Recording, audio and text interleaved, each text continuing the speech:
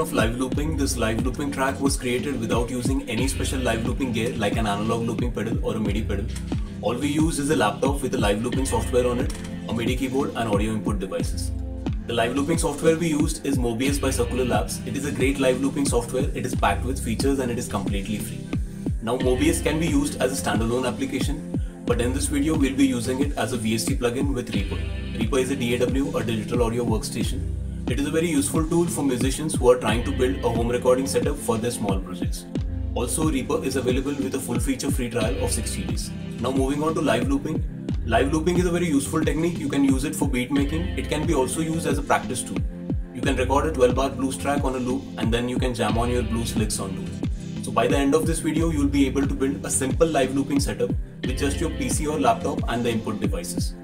But before we get started, I want you to know that I have also included the input configuration and plugin installation of Reaper in this video.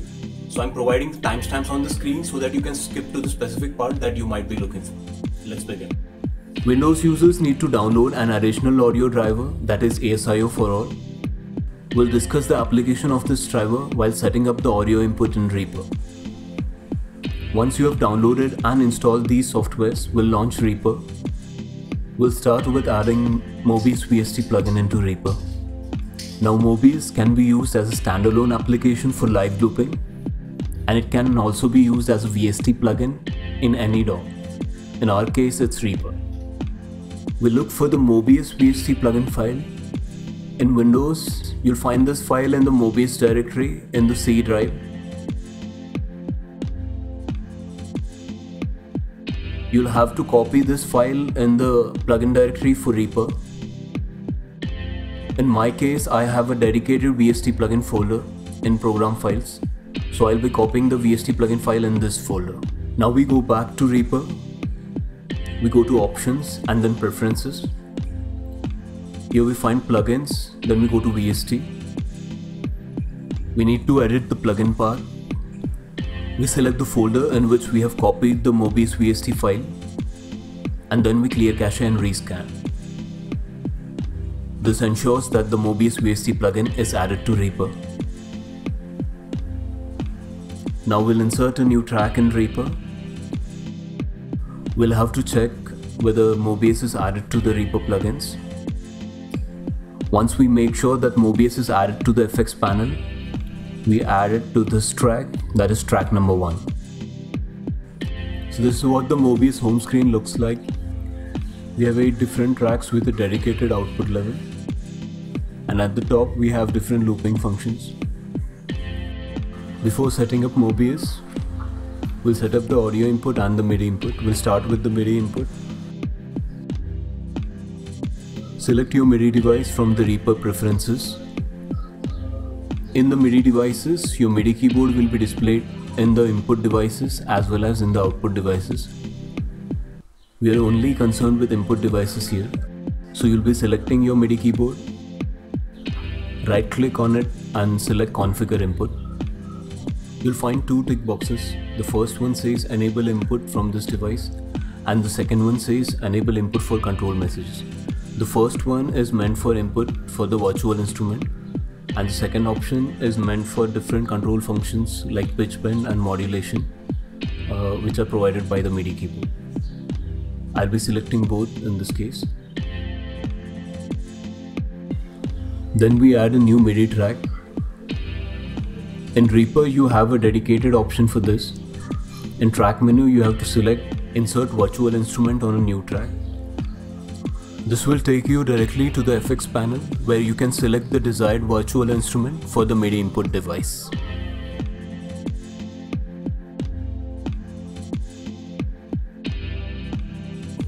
Before we set up the audio input, we'll see how the tracks are supposed to be routed to Mobius. We have Mobius on track number 1 We'll be adding our MIDI input device on track number 2 and the audio input device on track number 3. Now Reaper provides you with an option to route audio signals and MIDI signals from one track to another. We'll be routing only audio signals from track number 2 and track number 3 to Mobius. a MIDI keyboard has multiple channels. You can use few of them for virtual instruments and the rest can be used to control looper functions. So we'll be using computer keyboard and a few MIDI keyboard channels in order to control some of the looper functions. We go back to Reaper where we have added a new MIDI track. Now we won't see any input options until we have armed the track for recording. We just click on the red button on the track and we stretch it down a bit to find the input options. Now by default when you add a MIDI track, it will take input from all the MIDI devices. So we have to select our MIDI keyboard. In my case it's Arturia Minilab and we'll also be selecting the channel that we are dedicating to the virtual instrument. Now on the Reaper home screen, the tracks are also available at the bottom with a level knob. And just next to the level knob, there is a rainbow button that says route. We'll be using this button for routing the audio signals from this track to Mobius. In add new send, we have to select track number 1 that has Mobius. We'll be only routing audio signals and thus we'll select none in the MIDI bus option. Now moving on to the audio input setup, Windows users need to make sure that they have the ASIO for all drivers installed. From the Reaper preferences in the audio device setting, we'll select ASIO for all it can be accessed from the tray icon in Windows. ASIO for all driver serves two functions. The first is it enlists all the audio input devices that are connected to your system so your audio interface can be directly accessed from ASIO for all. Also this driver helps the DAW deal with latency in audio signals when you are recording. Now we select our audio input from ASIO for all. Then we add a new track in Reaper, track number 3. We drag it down, we arm it for recording, and then in the input options, we select the audio input.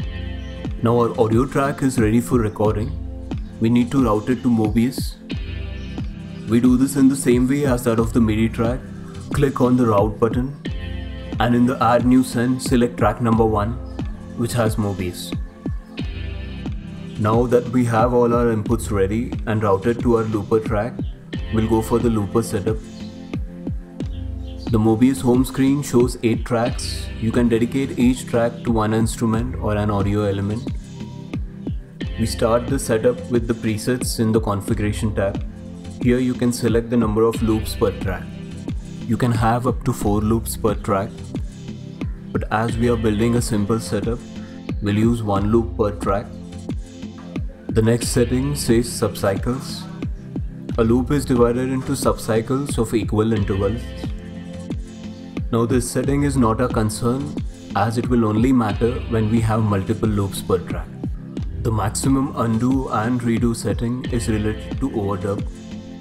Based on what number you select here, you'll be able to undo or redo that many number of overdub layers. Now rest of the settings can be used only when you have multiple loops selected per track. So we'll just let them be at their default values. Now we go to the track setup in the configuration tab. Before we make any changes, we need to understand the idea behind looping without a remote switch or pedal. This can be done using an empty reference loop. When you are using a pedal, you press the foot switch to start and end the loop, so both your hands are free to play the instrument. In the empty reference loop technique, we record a loop without any audio in it. The length or the interval of this loop is fixed beforehand.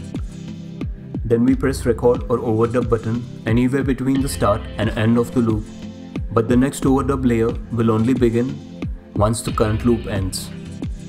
And that is our cue to play our instrument to add the instrument audio layer. Now moving on to the track setup, in the tracks tab, we use our first track as the reference track. The sync source setting is concerned with the tempo reference for Mobius.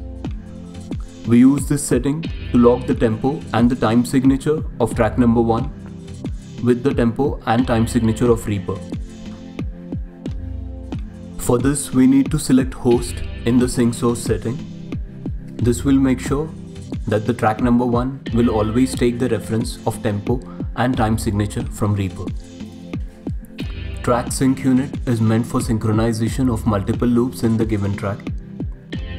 This setting will reappear in synchronization tab. The synchronization tab is common for all the tracks. We use this setting to synchronize all the tracks with our reference track Thus our default sync source here is track. That is track number 1. Default track sync unit is meant to synchronize loops in different tracks. We select loop here as we will synchronize the tracks with an empty reference loop on track number 1. Our host sync unit is a bar. One bar is the minimum length of our reference loop and we can change this length by changing the number of beats per bar.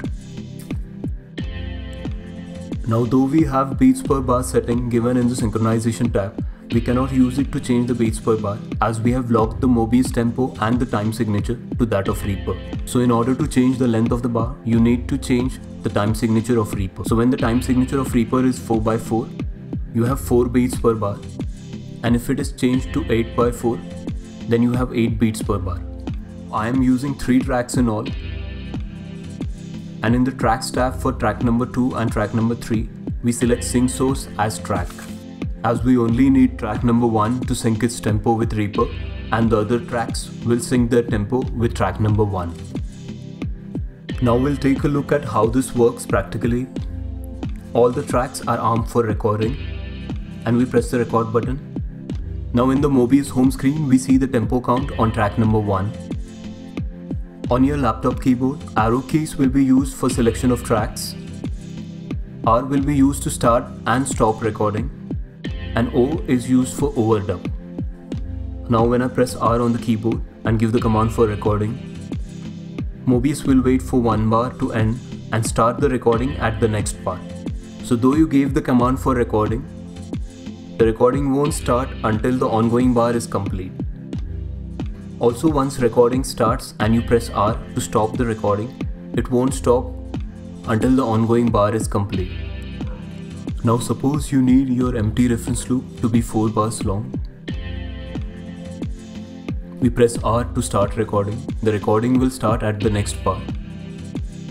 Then we wait for 4 bars and we press R again during the 4th bar to stop the recording and thus we get a reference loop of 4 bars. In order to count the bars, you can use metronome in Reaper or you can use the counter on the Mobius track. Now we'll create a short live looping track using the setup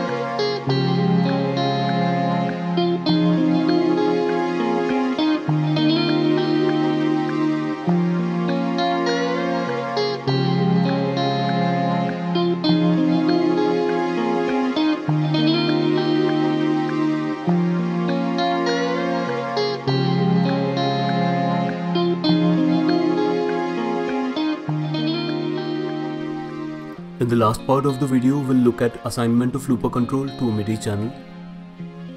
We have already assigned our MIDI channel number 1 to a virtual instrument, but we have only routed the audio from this channel to the Mobius track. For assigning the looper control, we'll use channel number 10. In the Mobius track, we select MIDI input from channel number 10.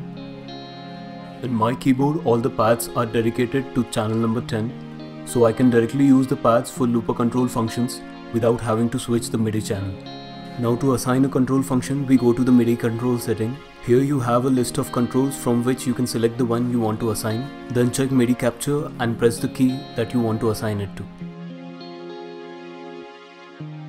Now you can save the assignment by clicking on new